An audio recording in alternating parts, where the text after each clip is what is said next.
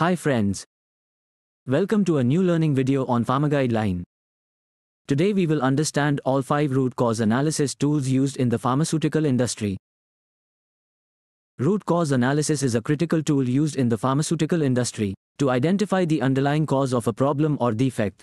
Several root cause analysis tools can be used in the pharma industry depending on the problem's complexity and the available resources. Here are some of the commonly used root cause analysis tools in the pharmaceutical industry. 5 Why tool. The 5 whys is a simple yet effective root cause analysis technique that involves asking why a problem occurred 5 times to arrive at the root cause. It's a commonly used technique in the pharma industry because it's easy to use and doesn't require any special skills or resources. Fishbone diagram. The fishbone diagram, also known as Ishikawa diagram, is a visual tool used to identify the possible causes of a problem. The diagram resembles a fish skeleton, with the problem at the head, and the possible causes branching out like bones. This tool is particularly useful when there are multiple potential causes of a problem.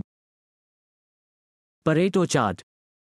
The Pareto chart is a graphical tool used to identify the most significant contributing factors to a problem. It's based on the Pareto principle, which states that 80% of the effects come from 20% of the causes. This tool is particularly useful when there are several contributing factors to a problem, and resources need to be focused on the most significant ones. Fault tree analysis.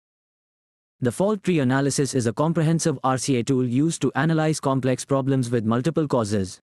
FTA uses a graphical representation of the problem, with the problem at the top and the various possible causes branching out like a tree.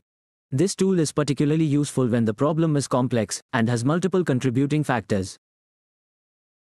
Failure Mode and Effects Analysis The Failure Mode and Effects Analysis, FMEA, is a proactive RCA tool used to identify potential failures before they occur.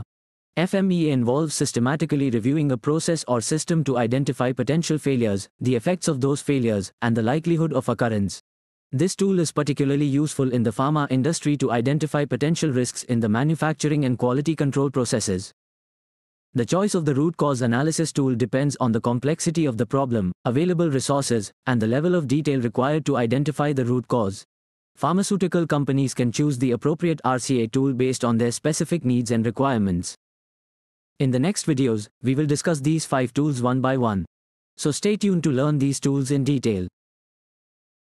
Don't forget to subscribe to this channel and also hit the bell icon to get regular updates. Thanks for watching this video.